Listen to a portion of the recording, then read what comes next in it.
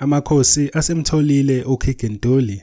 Bafana Bafana International Dolly will complete his move to Kaizer Chiefs this week after reaching an agreement to join the club on a free transfer. Dolly is due to undergo a medical at Chiefs today before his deal is completed after choosing not to take the option of moving to Egypt where there was also interest. According to discussions made by Kaizer Chiefs officials, Dolly's medical is scheduled for today at a Johannesburg institution and is then most likely expected to join the rest of the squad at training on Wednesday.